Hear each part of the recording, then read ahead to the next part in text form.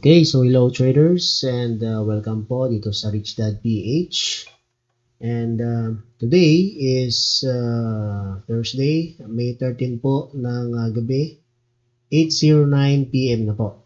Okay, so uh, right now dito po tayo sa ating uh, website at uh, napansin po ninyo tayo po ay nakapag-open ng economic calendar. Now dito sa left side natin, ayan po yung ating VIP room wherein nag-post po tayo kanina ng mga trade uh, ideas no?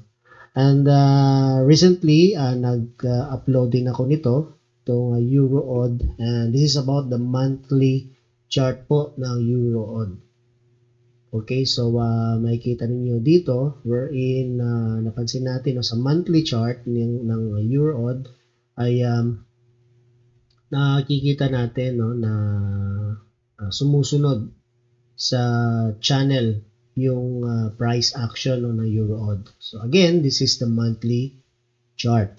Okay, so ito yung dynamic uh, support niya. Ito din naman yung dynamic resistance. Wherein, napapansin po natin na may mga price level po rito na currently nandyan po yung price. Uh, alam naman natin, no, mula sa kanyang resistance dito, bumaba yung euro uh, against Australian dollar. And uh, we are looking right now na there is a possibility na baka lang, okay? Baka uh, susunod pa rin no, yung price action at uh, may possibility na magtuloy-tuloy yung upward momentum ng uh, euro-odd. Okay? So uh, that means uh, may possible na ano um, reversal no from this price action. We're in currently dito po tayo sa buwan na to no sa month ng uh, May. So andyan po yung uh, candle po, monthly candle ng uh, month of May. Okay? So looking forward po tayo na ano uh, positive po yung euro odd. Okay? Uh, but for now, uh, tinan natin yung current situation ng market. Okay? So which is uh, uh, I normally suggest every time po na mag-open po tayo ng uh, rich.ph website ay punta po tayo doon sa currency monitoring. Okay, so uh, ito po yung currency monitoring. Pag i-click po natin yan, uh, normally mag-open po yung ating currency monitoring chart at uh, papansinin natin right away kung ano yung status. Okay, ano yung uh, pinaka-status ng ating currency monitoring. So, palakihin lang muna natin para mas uh, malinaw. Okay? So, as you can see, uh, makikita po natin dito sa chart na to, ito po yung performance, tapos naka-indicate naman dyan no, kung ano yung kulay ng currency. At uh, napapansin natin dito, yung kulay brown po yung nasa taas, which is the Swiss franc. Sa baba naman is Australian dollar, ayan na yung kulay blue. Okay, violet kasi yung CAD. Right? So, yung Australian dollar. Now, ang gagawin natin, para mas madali natin makita is to uncheck those currencies na hindi natin kailangan. So dito kitang-kita natin no that there is a uh, uh, crossover no as you can see no uh, nagpapalit-palitan yung uh, uh, strength ng Australian dollar at uh, Swiss franc. Okay, so uh, andyan po yung zero level wherein kapag uh, yung uh, yung strength po ng isang currency is below the zero line, ibig sabihin is mahina siya. Okay? Then, uh, kapag above zero level sa positive side, ibig sabihin palakas siya. Now, uh, dito, uh, makikita natin na bumaba pa talaga ang Australian dollar no, at uh, negative 30. Below negative 30, uh, pag itapat mo yung mouse dito, ayan, no, nasa negative 36 siya. At the same time, ang Swiss franc naman is uh, around 22.38. Now, if you check something like this, no, kapag nakikita mo, ita-translate mo siya into a currency pair. Mangyayari po nito, uh, odd CHF. Okay? Australian dollar against the Swiss franc. Okay? Odd CHF po yung kombinasyon yan. Now, pagka pupunta tayo sa atin pong uh, odd CHF using our website, so click mo lang, no, itapat mo lang yung mouse mo dyan sa AUD, tapos punta tayo sa Swiss franc, which is pwede rin natin gawin sa Swiss franc, CHF. Ayun yung old CHF. Okay, so i-click natin. Kapag uh, na-open na po natin yung ating old CHF sa part po ng ating uh, rich.ph website, makikita po natin, ayan siya oh. strong sell po yung Australian dollar, Swiss franc since uh, kanina. Actually, hindi lang ito kanina eh. Kasi ito nasa 15 minute chart po itong default natin na settings no kasi uh, intraday trading naman tayo. So um, kung nakita mo yan, napansin mo yan, uh, you have sold no. Nag-sell po tayo ng old CHF. Okay? So, punta po tayo sa atin pong uh, platform. Ayan po yung old CHF. Uh, sinet ko na po yan kanina. So, nasa 30-minute chart po tayo. Um, i-maximize ko lang. Ayan po yung nangyari no, ng old CHF. Okay, so may channel po siya na pababa. Then eventually, uh, binasag niya pa yung dynamic support dito wherein uh, kaninang umaga nag-open yung price no uh, is below pivot point po ng uh, old, uh, no, uh, daily pivot no which is uh, alam naman natin if the price is below the, the pivot point chances are malakas po yung sellers so ibig sabihin since malakas yung sellers sell lang po yung atin po iisipin in which uh, doon sa ating uh, signal, no, meron tayong sell signal dito kahapon. Uh, eventually, malakas nga yung uh, Swiss franc versus uh, Australian dollar. Ayan po yung nangyari.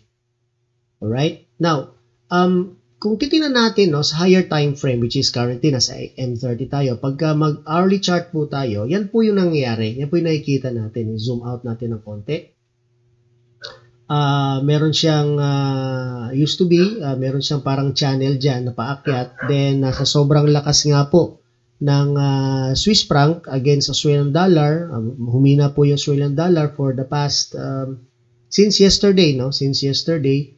So, ayan po yung nangyari, no? Bumagsak po talaga siya. At binasag itong dynamic support dito. Meron sana siyang channel, maliit na channel, pero binasag yung dynamic support kaya ay nangyari, tuloy-tuloy po siya, no? Nagtuloy-tuloy po yung uh, uh, pagbagsak po ng uh, odd CHF. Okay? So sa 4-hour chart naman para makita natin yung uh, ano uh, relationship no kitang-kita dito no sa odd CHF natin sa 4-hour chart uh, mahina na pala talaga ang um, uh, Australian dollar against Swiss franc since March Ayun no, uh, ito po yung March no. Uh, ayan, ayan, ito po yung March. So since March pala, um, nagpo-form na pala ng uh, down channel itong odd which is uh, currently right now um, for for this week no kasi Webes na po ngayon.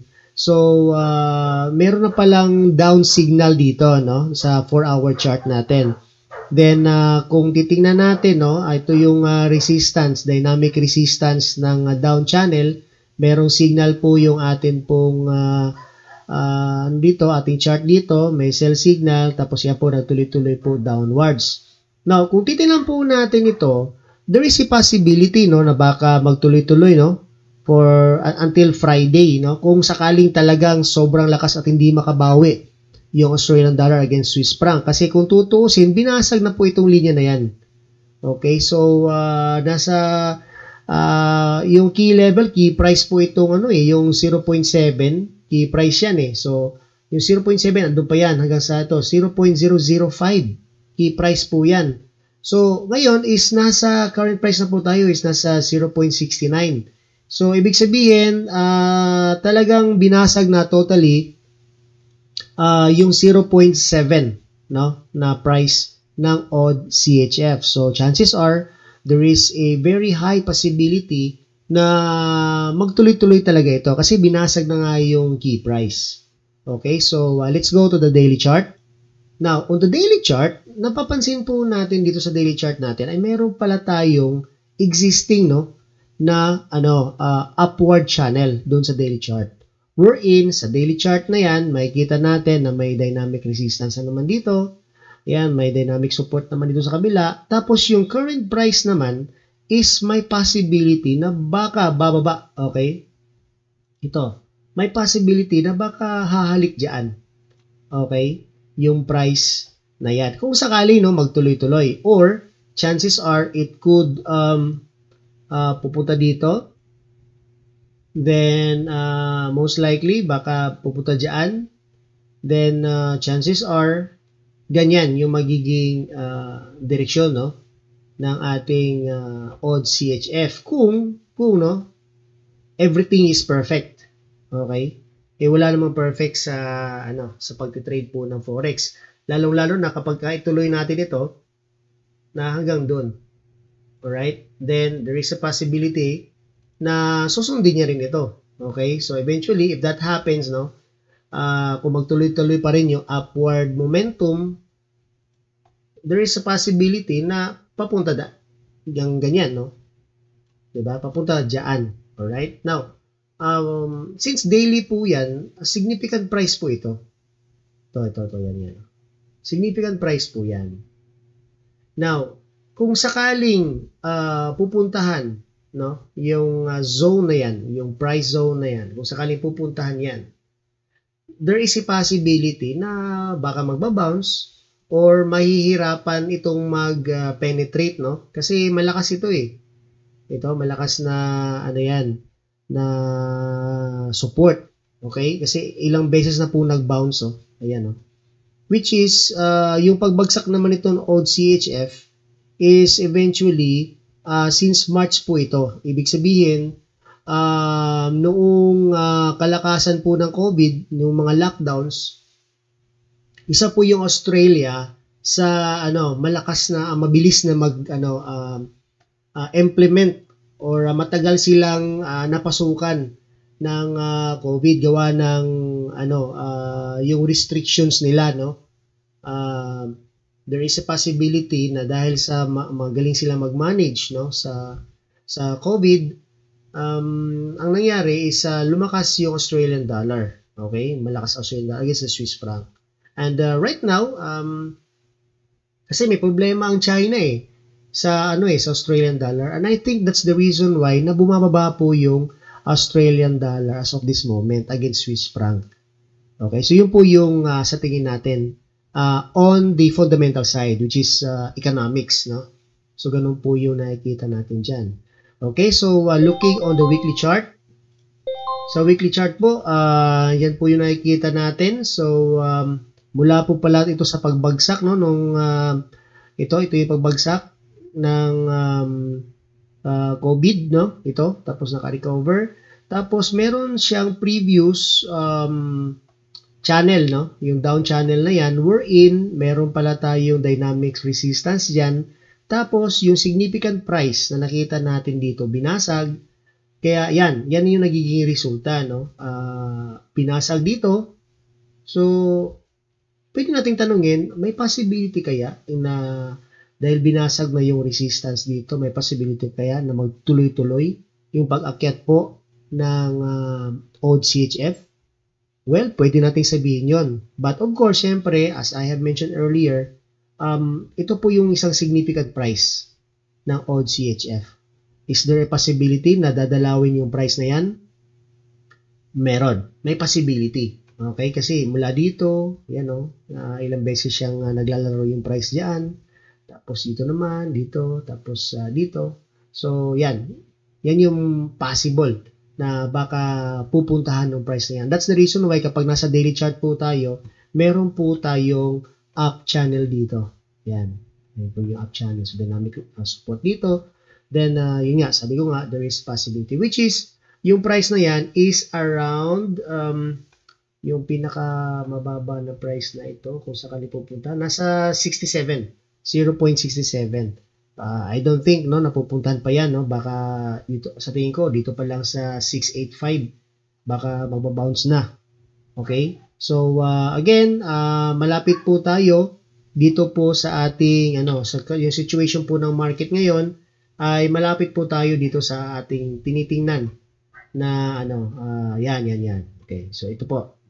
So, from the current price, pagpupuntahan niya itong uh, dynamic support na yan, it will take around uh, how many pips? 80 pips pa na kung sakali no kung ibabagsak niya talaga until tomorrow kasi Friday po bukas.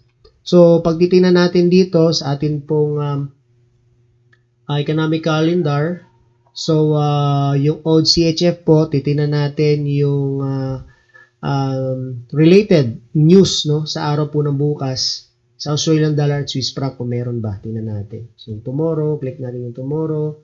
May balita po ba ang Australian dollar at uh, ng Swiss franc? Uh, Australian dollar lang ang meron, which is the HIA new home sales. Okay, so uh, kung titingnan po natin, uh, let us see no, if there is really a possibility na magtuloy-tuloy ang uh, weakness po ng Australian dollar, then uh, tinan po natin. Okay, so uh, balik po tayo dito sa ating currency monitoring. Then, uh, kung tutusin, you could even check naman no, yung yesterday. So, ano ba yung uh, mahina yesterday? So, ayan. So, since yesterday mahina po talaga yung Australian dollar, kasama po dyan yung New Zealand dollar. Okay? So, again, yung, uh, yung uh, related story po niyan ng kahinaan ng Australian dollar is because China is having a trade war against Australia as of this moment. Okay, so uh, hopefully po uh, nagkaintindihan po tayo doon sa atin pong uh, ginawang uh, maliit na uh, technical analysis for old CHF. Then uh, patuloy lang po tayo no na monitor sa atin pong mga VIP at uh, just in case kung gusto niyo uh, maging uh, VIP po, VIP member ng uh, Rich Dad PH, um, just go to our website Then, uh, click nyo lang po itong VIP access ng ating pong website. Then, uh, magkakaroon po tayo ng idea kung paano po maging VIP member para ma-access nyo po itong ating uh, VIP channel sa Telegram kung saan uh, tayo po ay nagbibigay ng mga informations uh, regarding po sa pagtitrade ng uh, Forex. Okay? Then, uh, marami po tayong uh, sinishare dito na mga analysis, uh, informations, fundamental and technical, no? Uh, nandyan po, even uh, mga informations na hindi natin makikita sa online, no? Or uh, kagandahan nito is uh, limited po yung noise, no? Na nakikita natin o nasasagap natin balita online. Okay, so uh, again, marami pong salamat. Then, uh, looking forward po sa next session po natin. Then, uh, magandang gabi po sa inyong lahat.